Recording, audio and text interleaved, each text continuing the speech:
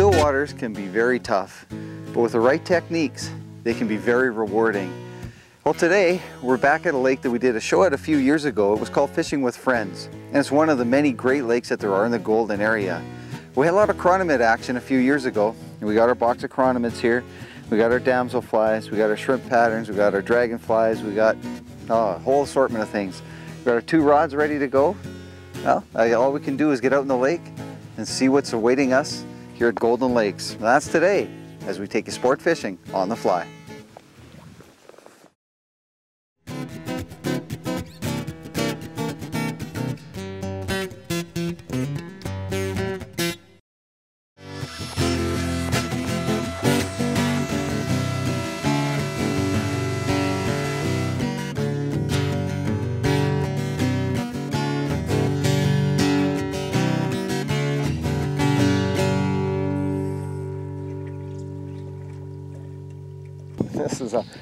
This is a decent fish. What we found is we got out here and we were working the shoals. A lot of fish moving on the shoals, some of the spawners, but a lot of silver fish. So we moved just to the ledge again. So that means just off the shoal where it drops off into deeper water. So this shoal is probably 10 to 12 feet, drops off to about 15 to 16 feet. And this is an ideal place mainly because the fish are always cruising along this ledge and they're right, we're noticed they're, they're right on the bottom. There's the odd one rising, but all the big guys are right on the bottom. So we're having to go down deep, fishing nice and slow, just bringing that this this fly right up the ledge. And here he is here. He's actually a little colored, but look at the size of him. Oh, and he, look at that. Now that's what you call a long line release. Barbless sucks, of course, you're gonna get those kind of releases. I hope everybody got to see the fish, but again, I just want to stress the fact of getting down deep right now. It's uh, they're they're moving along the ledge, but all the fish are right on the bottom.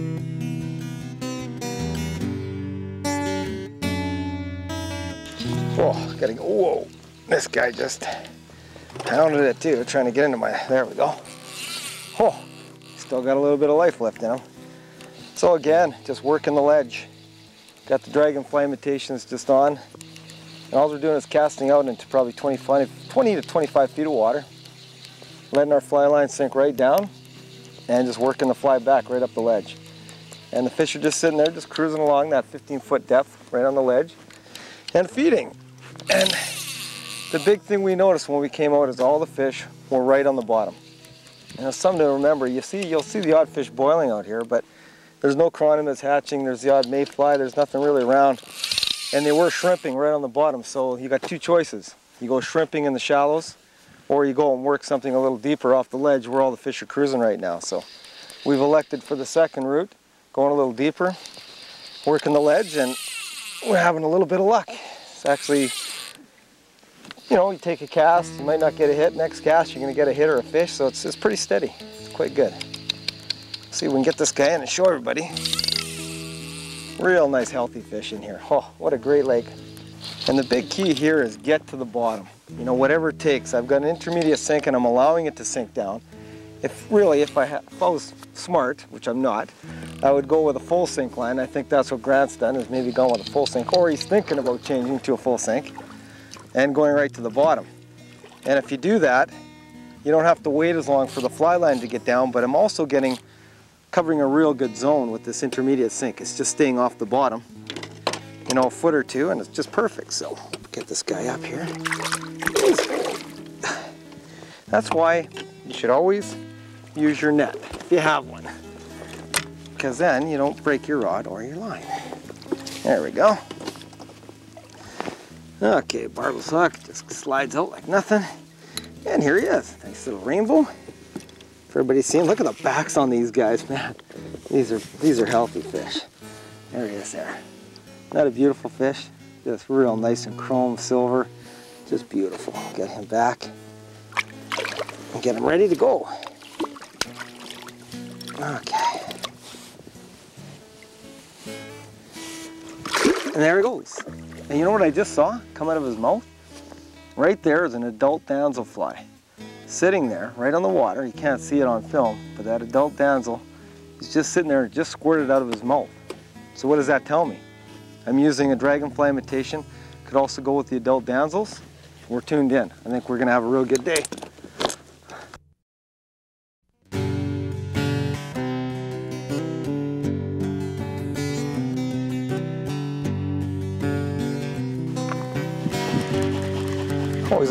Here to get back on the reel.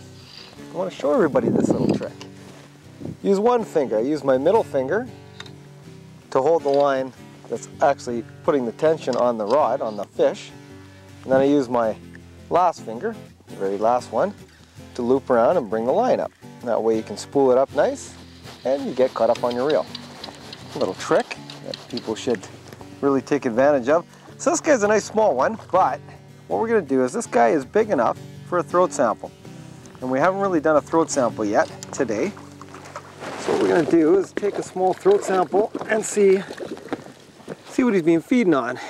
Make sure it's all, your hands are wet. Turn the fish upside down.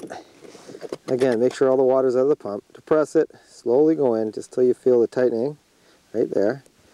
And throat sample. And then let go of the fish. And there he goes. Doesn't harm at all. So, let's go and have a quick look and see what we have in the throat sample. A small little chironomid, probably about a size 24, so you won't see me casting that out. and about size 30 shrimp, very, very tiny.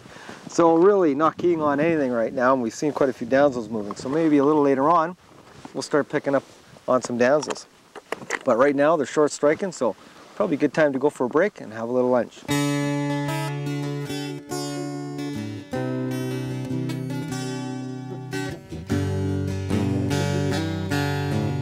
You know what they say, the old saying when fishing slow, eat.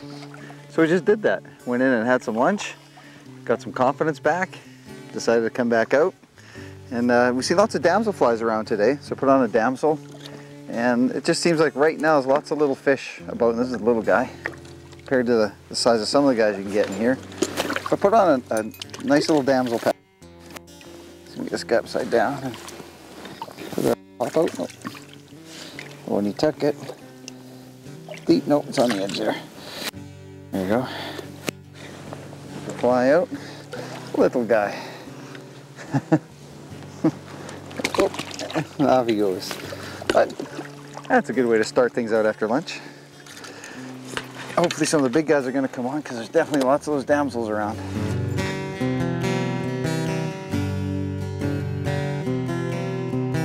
Well, get this guy in here. He's just a small one, so we, we just cut real quick right to the chase. But now we're gonna show you what we've been using all day.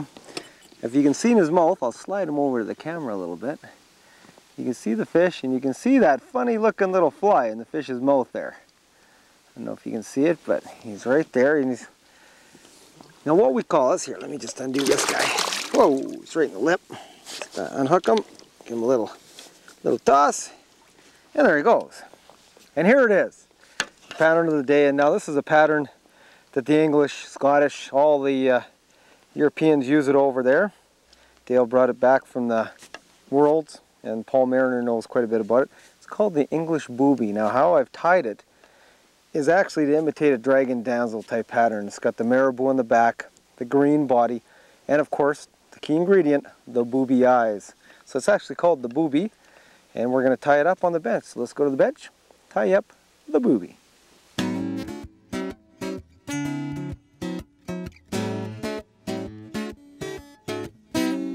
The English are known to be some of the best lake fishermen in the world. And when my brother came back from the World Fly Fishing Championships, he brought us back an English booby. This fly turns out to be a great dragon and damsel imitation. Make sure you have these materials ready before you tie the fly. We'll use a Mustad R72 size 8 to tie with. We'll use some 8 olive thread, some round foam balls for the eyes, some bait maker mesh for the eye holders, some dubbed olive marabou as the body. For the rib we'll use some medium copper wire and some olive marabou for the tail. The first step to the fly is to take some olive marabou, make it the length of the hook, and then take it back and tie it in for the tail. Now that the tail is tied in, I'm going to take some medium copper wire and we'll tie it at the back and this will be used for the ribbing a little later. The ribbing is now tied in. I'm going to take a green marabou feather and what I'm going to do is dub in a body. Now what I'm going to do is pick off the marabou off the feather and wrap it in and dub it onto my thread. And again keep it fairly thin. The bodies of most damsels are fairly thin and we'll make it a little thicker towards the head end. But just keep dubbing it on your thread. And once your body's dubbed on, we're going to wrap it forward to form a body. And make sure you only dub the body up and leave quite a bit of room for your eyes, probably about uh, half an inch.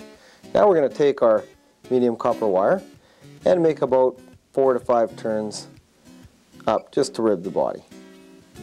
I've now finished tying in the ribbing. And what I'm going to do is take a couple of foam eyes, foam round eyeballs, and I'm going to put it in my mesh material. And all you want to do is make sure you, you wrap it good in the mesh, make sure the eyes are totally covered in the mesh, and tie it on right near your eyelet. Tie on the mesh material, cut the mesh material off, and now wrap in between. Do figure eights to separate the eyes into two, two nice big bulging eyes. The last step in the fly now is take some more green marabou and dub in a nice thick amount on your line. And we're going to wrap in between the eyeballs just to form a nice head on the fly. And again, keep it fairly thick. We want this to be nice and full around the eyes. To finish the fly off, I'm going to take my whip finisher and whip finish the thread right around the eyelet. Cut off your thread and then what I'm going to do is actually take a dubbing picker and just pick out a bit of the dubbing in the body and right near the eyes just to give it that lifelike look. And there you have it, the finished English booby. You know, the one thing that sets this fly apart from other flies are the eyes. They not only give the fly lifelike movement, but they also act as an attractor.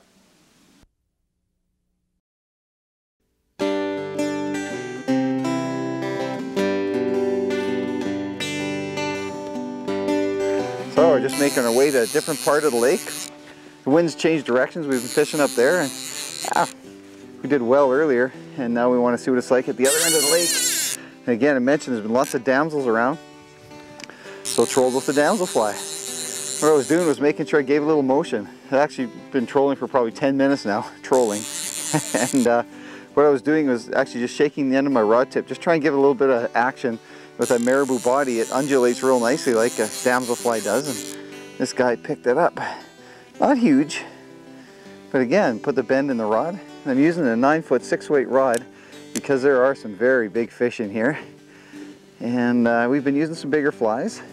Look how fat this guy is. Boy, he give you a great fight. I think I got some muscle to him. Get the net ready. Now we just gotta get the fish ready.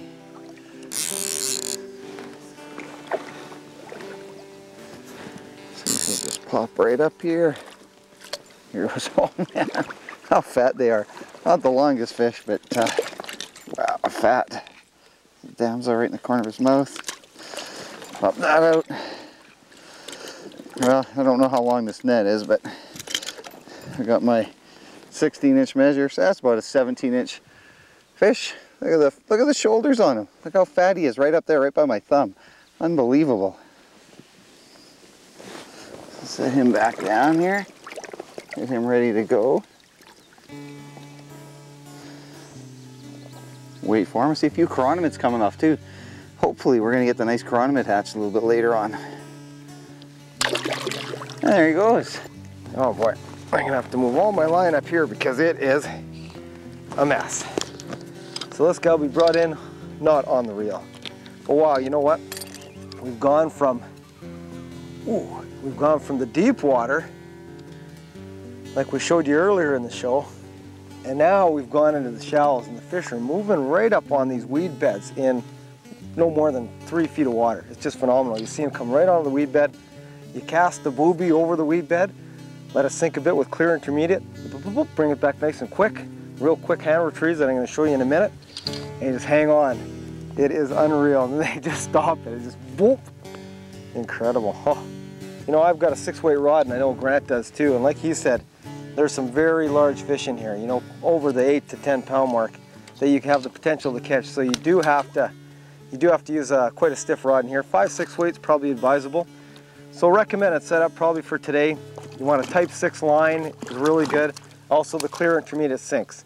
You want to be able to get down the bottom and right now We're in shallower water, but again, we're still letting it sink down. So probably the best, clear intermediate sink or a full sink line, six weight rod, and about six to six to eight feet a leader.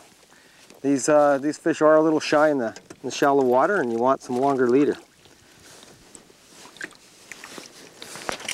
And there he goes. So we got the old chironomid out and my booby, and he trashed my booby. The one thing bad about the boobies is they have the foam eyes. And if a fish really attacks it like that one there, they usually rip an eye off and it's no good. So I'll go back to my supply and put another one on. I'm gonna go back to that weed bed and work it, but remember, get the clear intermediate sink line. It's a killer for the boobies. So what I'm doing now with the booby, this is the retrieve you want to use. Cast your line out as far as you can get it out. Allow that intermediate sink line to sink for probably 20 to 25 seconds. That's my count. Just allow it to get down a little bit. And it's probably going to sink down about a foot to two feet. Again, we're fishing three to four feet of water over the weeds. And now what I'm going to do is real quick hand twist retrieve. So I'm using all four fingers and I'm really quick hand twist retrieve and let it sit for a second. Again, real quick hand twist retrieves in a second. What that fly is going to do is skitter and bounce and really hop in the water. And you really want to really want to pop it because those eyes float and every time you stop it'll give that kind of motion. Really like a damsel. Again, real fast hand twist retrieve. And hang on because when the fish hit, they just smoke it.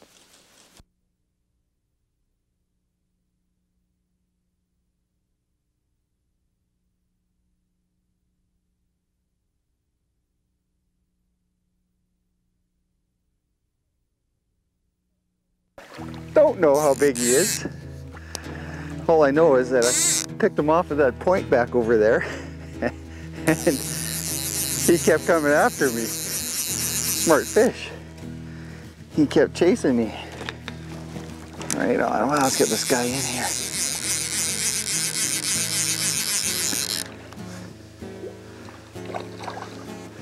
Yeah, there we go. Good fish. There you they're just so uh, so fat and healthy here. Fly right on the corner lip. Pop it out, clear it. This guy's gonna be ready to go just about right away, I think. Oh, the snub nose. he got a snub nose. and off he goes. That's one of the funniest looking fish I think I've Oh no.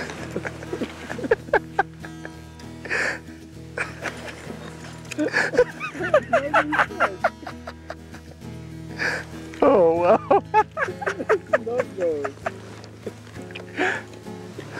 oh wow. Whew, composure.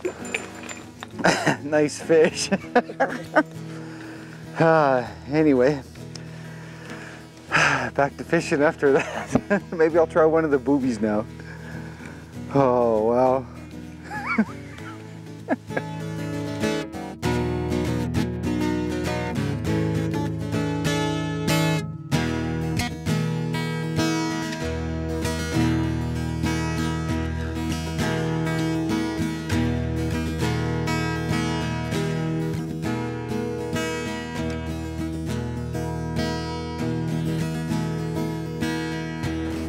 Hope you enjoyed today's show.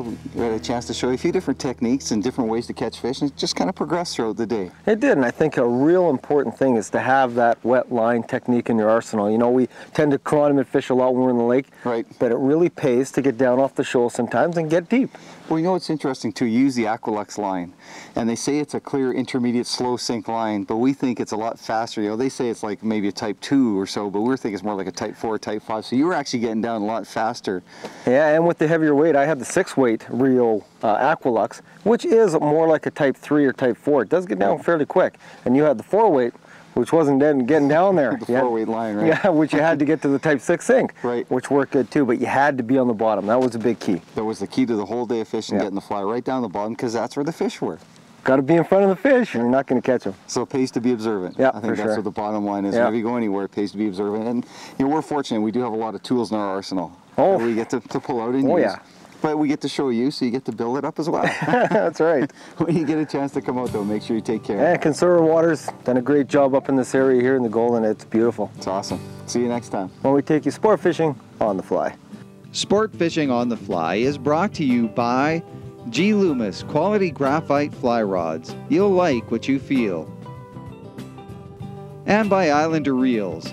High performance, precision fly reels, Canadian made. And by Outcast, makers of the best pontoon boats. And by Hyde, made by fishermen for fishermen and by these other fine sponsors.